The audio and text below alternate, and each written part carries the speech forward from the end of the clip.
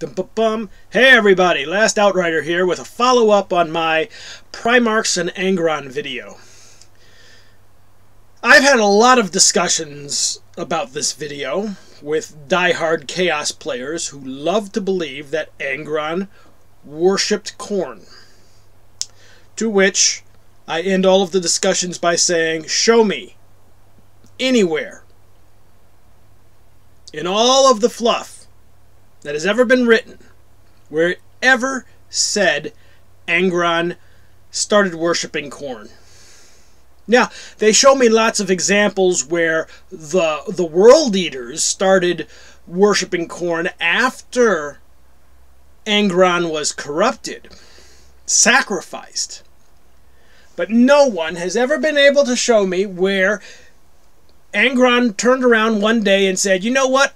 I like Khorne Because it doesn't exist. But I'm going to bring the debate to an end by reading you from this book. Whee! See it? The Betrayer by Aaron Dembski Bowden. If you don't want to hear the whole snippet, I'll just give you uh, the blurb on the back. the Shadow Crusade has begun. Whilst the Ultramarines reel from Kor Phaeron's surprise attack on Calth, Lorgar leads the rest of the Word Bearers deep into the realm of Ultramar. Their unlikely allies, Angron and the World Eaters, seem blind to the true goals of the mission preferring instead to ravage each new civilization they come across. But where Lorgar might once have chastised his wayward brother, now he seems only to encourage the frenzied bloodletting. Worlds will burn, legions will clash, and a Primarch will fall. And the fate of the entire galaxy hangs in the balance. Okay, so that should give you enough of a hint. But for those who prefer a more in-depth reading, I give you the actual fall of Angron, where he is sacrificed to Khorne by Lorgar. Never worshipped him. Just, just think about Angron's backstory. Here's a person who was born a slave, forced to fight in gladiatorial arenas his whole life, leads a rebellion against that. And you think that this person would then turn around and say, Khorne, the embodiment of mindless bloodshed and violence, and say, hey, that's a guy I like. I think I'm going to start following him. It's absurd. No. He was picked because of his rage and sacrificed the Khorne for that reason. He was a sacrifice. Of all the legions, the world eaters were the most, how can I say, abused in the entire Horus Heresy. They are a, the most tragic of any of the stories in 40k, and there's a lot of tragic stories in 40k. But the word bearers take the cake, and I'm going to prove it with finality over the next 10 minutes. We begin on page uh, 380, where, uh, uh, let me see, Angron is fighting Guilliman, who chased him because of their the all of the other 200 worlds I think they put to the torch. Not just destroyed but tortured the populations of 200 of Ultramar's worlds for apparently no military reason. Finally uh, Guilliman catches up with Angron and they fight and we are at the end of that. And Lorgar shows up and let's see what happens the crescendo of the warp song played through an instrument of perfect, depthless fury. no purer emotion than rage. Angron himself had said those words. Once the pain had passed, perhaps he'd even agree with them once again. Angron himself still fought Guilliman, standing above the kneeling ultramarine. Had he even noticed the storm of blood streaming from the sky in a red torrent? Sparks sprayed from Roboute's raised gauntlets as he struggled to ward off blow after blow. He was beaten. He was down. Wounds painted him, a palette of proud defeat. Even now his warriors were fighting to retrieve him. With the scarring across his armor and the sense of pain bleeding from his mind, Lorgar reckoned his brother would be lucky ever to even walk again. Angron looked little better. Already an icon of mutilated majesty, huge rents and gashes marked his flesh from the knuckles of Guilliman's gauntlets. Now. It has to be now. Lorgar focused his concentration on the triumphant form of his mutilated brother, calling for the Neverborn to answer in kind. He locked Angron's muscles, setting fire to the synapses in his brain. He stole the chance at a killing blow, fueling the World Eater's rage even higher the screaming began. A melody of murdered worlds finally singing in the material realm. History repeated itself. Another Primarch crawled away from Angron's wrath. Another brother who'd come into an inheritance without being cursed, without being torn from his roots and left to mourn what might have been. There was no pleasure in beating them. The rage never faded. It only deepened, turned rancid by bitterness. The hope for serenity of battle fled from him, deserting him with the hollow promises of a false lover. Hatred offered no victory. Nothing did. Even those he defied and destroyed, even they pitied him. Forgive me. I tried to tell you. All of us dance to the warp's tune. Even you, Angron. This time, as Guilliman, rather than Russ, dragged himself clear, the World Eater staggered back himself, clawing at the ruin of his face and chest. He was tearing at his own armor and flesh, ripping it away in fistfuls, screaming a sound that no living thing should ever be able to make.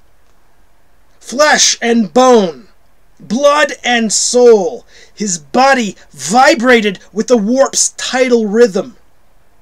It rang through every atom, every subatomic particle of his divinely wrought form. Billions and billions of screaming souls. And with their cries came the pain. The first spasms racked their way through Angron's sinews, turning his blood to quicksilver, then to lava, and at last to holy fire. His cries of thwarted rage were tainted by an agony beyond comprehension. His body started tearing itself apart, growing, rising, perfecting after a lifetime of broken torture. Lorgar stared at his brother's angry agony with guilty joy. You were always the conduit. No one else hates the way you do, with the same depthless strength. No one else feels such pain, violated by life's treacheries. It had to be you. In the deepest moment of rage and sorrow, there could be no other conduit. Guilliman was escaping into his son's defiant phalanxes, retreating an enviable unity as they waded down the flooded roads. Lorgar saw the expression of disgusted awe on his brother's face as the wounded ultramarine stared at Angron atop the mound of dead sons from all three bloodlines. The 13th Legion still fired, even in retreat. Their shells crashed against Angron's bare muscled meat, straining his skinless flesh black, bursting gouts of blood into the drumbeat. A drumbeat. The gunfire was just a drumbeat, adding to the great song's crescendo. Bolts thudded into him, blasting viscera free in sloppy arcs. They did nothing at all. Angron had transcended corporeal pain in the grip of heavenly torment. Lightning struck him, forming another part of the great song. Even Lorgar had not expected that and more bolts of lightning snapping down from the bleeding sky, igniting the world eater's primarch, the corpses at his boots, and the very earth around him. The fire burned red, formed of flickering, writhing ghosts, the lives of those lost in exchange for his. The blood rain fell harder, hotter now. Hot enough to fog and bleach the paint from the cracked ceramite of countless warring warriors. Lorgar never ceased his chanting, naming the names, calling upon them to obey as they promised. He'd given them oceans of blood and worlds aflame. Now they owed him He'd sold trillions of lives in exchange for one. Let it never be said that Lorgar Aurelian wasn't a loyal brother. The inferno that had been Angron of the World Eaters raged unchecked. Doubt's first kiss touched Lorgar in that moment. He couldn't make out anything through the sanguine blaze. Was Angron even within that conflagration? Had the gods annihilated him in reparation for some flaw in the great song? He reached out with his psychic sense, questing towards the bale flame. All he could hear was the wailing of the unfairly slain. Their rage, their agony. This was the song he'd composed from fire and genocide, playing now for his brother's salvation.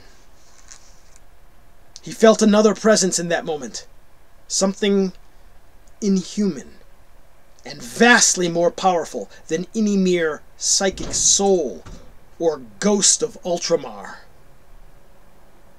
This was a voice he couldn't tune out, and for a moment of absolute ecstasy, he believed one of the four had come to bless his efforts. I am no god. The voice was softened by amazement, but nothing could conceal the power in its sepulchral tones. I am the communion. The name meant nothing to Lorgar. Aid me! he demanded of the presence. Sadness preceded the reply. I see now. I see everything. You are killing our father. I'm saving him! Ascension! That is how the worthy he is in the eyes of the four. Lorgar Aurelian, said the voice, we will not allow this. And just as they had let themselves drift from their bodies, they pulled Lorgar from his. He was falling. Into the tides behind the veil. Into the song itself. The melody was as much harsher, acidic tone on this side of reality. It washed over his flesh, burning and boiling, running into his mouth and filling his lungs. He rejected this invasion, channeling his concentration into a repelling force. It did nothing. If anything, it made the fire water sear hotter against his body. Lorgar raked his hands against the uncolors of the warp, forcing sense into the senselessness. Vision resolved into something a flesh and blood mind could process in a realm of the unreal. He wasn't falling. He was being pulled down, deep under the blackest of tides. He was drowning. With his Crozius in his hands, and then light.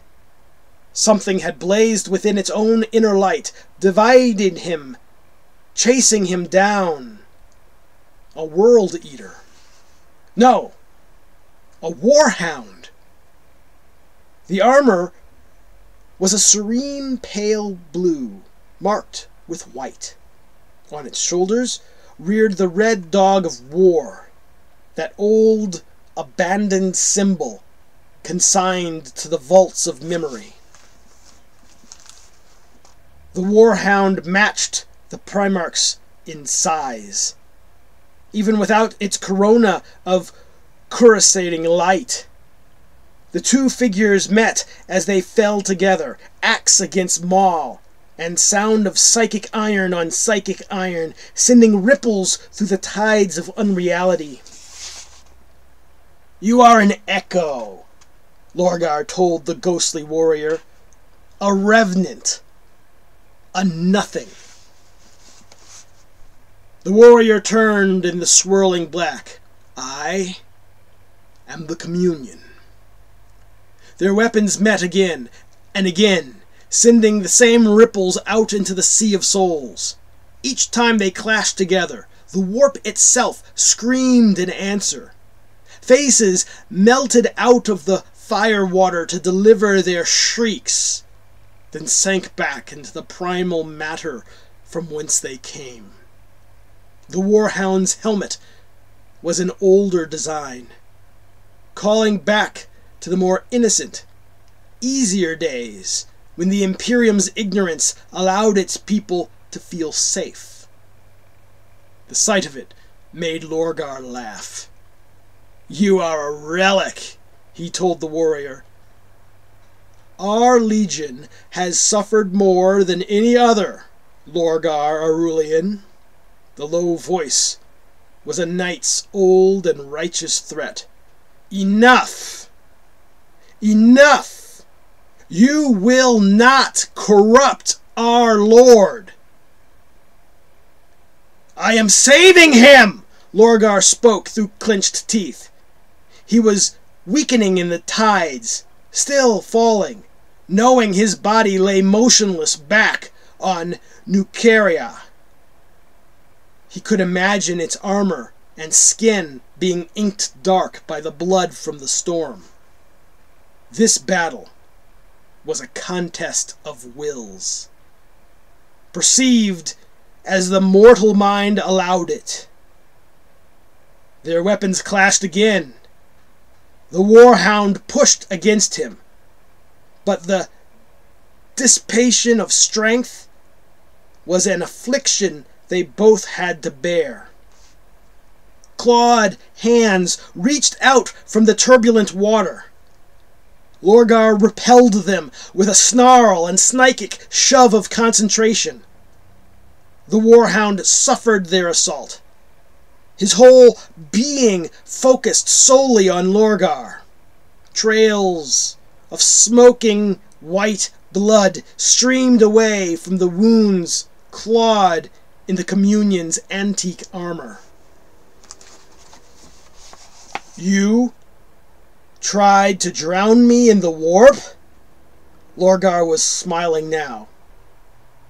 But I am just as strong here. I am the archpriest of these powers, little ghost. The warhound sagged, its shoulders straining against the locked weapons. Weaker, weaker. A growl left its throat. Then it struck faster than even a Primarch could follow. It came apart, discorporating into the black water. Lorgar's maul sliced the tides, all resistance gone. The warhound reformed in the Illuminarum's wake, its hands at the word bearer's throat. The psychic manifestation of his Crozius slipped from his hands, vanishing in the moment it left his fingers. Lorgar wrapped his own hands around the warhound's neck, struggling to breathe despite the neither of, neither of them needing to do so in this place. Instincts died hard. As they fell in that killing embrace. Tumbling through the tides, Lorgar looked into the warhound's eye lenses and saw just what he was fighting.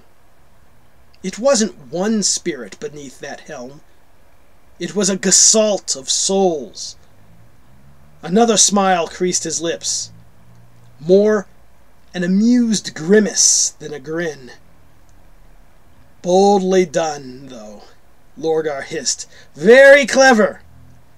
He released his grip, ramming his hand into the warhound's breastplate, right through and into the psychic meat beneath. The warrior tensed, stunned, its grip slacking, but not falling free. Lorgar closed his hand into a fist. Something burst within the warrior's body. Who was that? Lorgar shouted over the roaring sea. The warhound's corona of light faded, no longer throwing back the gloom with such intensity. Was that you? Eska? Ralakas? No. I still sense both of you in there. Lorgar punched his other fist home in the warrior's chest. The corona dimmed further as he burst another sphere of searing liquid in his grip. Lorkai? The warhound struggled feebly, almost shaken loose by the current. More hands were clawing for him now. Lorkai. Lorgar opened his eyes to the slick rainfall, hauling himself to his feet. The inferno still blazed. Had any time passed at all? and he still saw nothing of his brother within the blazing core. Weakness seemed to follow him back through the warp, sinking into his flesh and binding there. He was wearier than he'd ever been in his life. The communion died in his mind. The Primarch felt it quit. Literally crumble apart in some untouchable psychic diminishment. And in its place, the bolter fire began. So, I believe that's sufficient proof to end this argument. Angron never turned to chaos. The world eaters never turned to chaos. They were sacrificed to chaos in a ritual by Lorgar in which 200 ultramarine worlds were slaughtered, and those trillions of souls sacrificed in order to possess Angron unwillingly. But you can read the book yourself if you like. They are a loyalist legion. And one day, Angron might come back. And I can assure you, he will not be a happy guy. If he ever was. But I can tell you one thing. It's going to be killing chaos. That's what he will do dedicate the rest of eternity to. Probably as like a Stormcast Eternal or something like that. I can see it when Age of Sigmar marge, merges with 40k. He'll be one of the, you know, Celestant Lords or something like that. That's what I see coming. So I hope this ends that debate. And if somebody else wants to pull some other fluff out there to say all of this is wrong, please let me know. Until next time, bye.